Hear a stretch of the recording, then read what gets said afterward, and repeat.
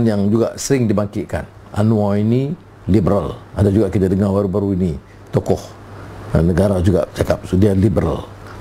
Liberal dari segi agama apa dia? Dan apakah benar keadilan ini menjadi anggota Liberal International? Dia terkait juga dengan soal Freemason ni. Liberal, sekular, Freemason. Liberal ni kita ni liberal maknanya kita sedia mendengar, sedia menolak, uh, sedia tasamuh, toleransi dengan pandangan ya. Tapi bukan liberal sebagai seorang muslim. So akidah nak liberal macam mana?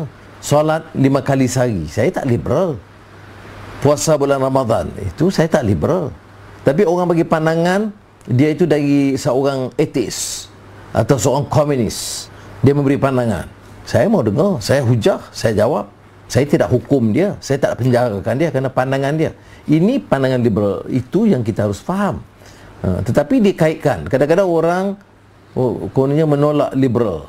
Tapi bagi saya um, liberal itu kalau arti kata meremehkan agama, menolak akidah dan akhlak itu kita tolak.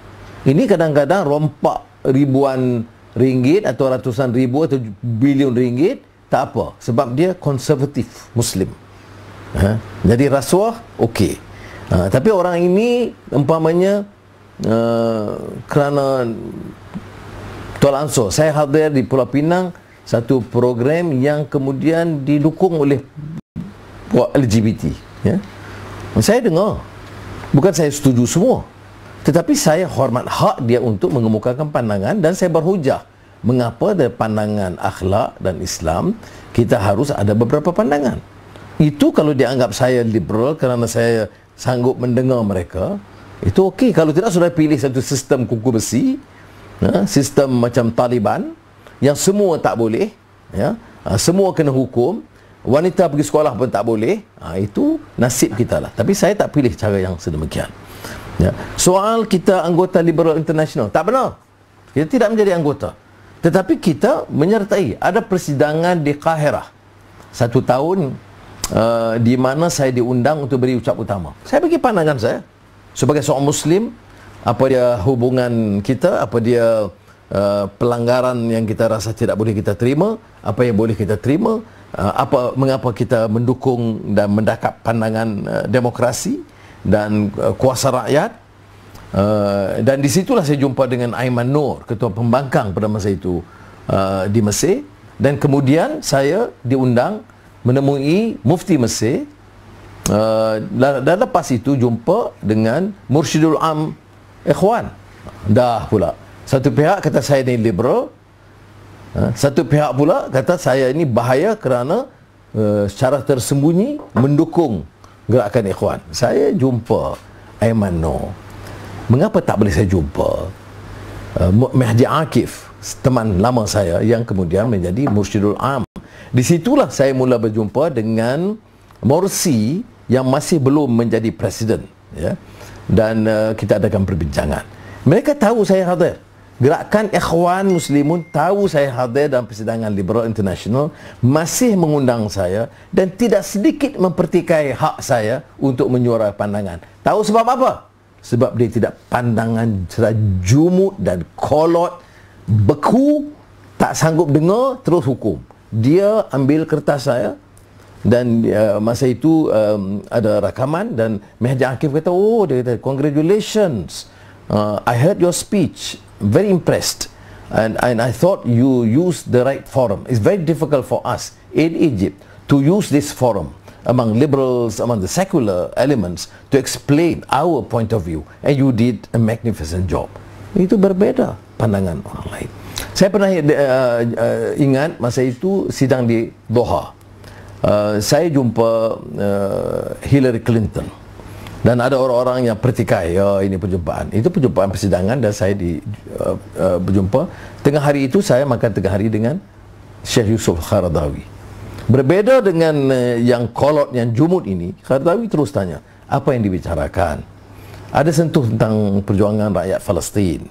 Nah, itu dia. Jadi bila saya terangkan dia rasa Alhamdulillah Anwar kurang-kurangnya ada orang yang dapat um, berhujah dengan mereka ya, diterima untuk berbincang. Di samping itu tidak undur dari prinsip yang kita perjuangkan dan ini terkait dengan apa yang kita bicara semalam mengenai um, tuduhan uh, saya anggota itu disokong oleh uh, dia tak sebut anggota ya tetapi dia bagi uh, semua beberapa rakan PAS ni bawa isu uh, brother Anwar Ibrahim yang segar bugar itu ya. Kemudian saya disokong oleh siapa? Zionis Amerika kerajaan Singapura uh, dan Freemason uh, jadi uh, kemudian sekarang tak boleh jawab soal Freemason dia bawa gambar foto-foto baru ya pertemuan beberapa pertemuan ini foto ini kalau sudah lihat saya dengan John Kerry. Siapa dia John Kerry? Dia setiausaha negara Amerika Syarikat. Apalah yang tak gerti sangat ni. Ya? Setiausaha negara Amerika Syarikat. Dan saya jumpa. Saya jumpa Presiden Turki. Saya jumpa Amir Khatar. Hmm? Saya jumpa Perdana Menteri India. Saya jumpa Presiden Jokowi. Saya jumpa Perdana Menteri Singapura. Ya? Um, saya jumpa Presiden Duterte Filipina. Apa masalah dia? Ya. Ha, ini disebut Simon Zadek. Ini katanya Yahudi Zionis. Ya Allah, apalah fitnah orang.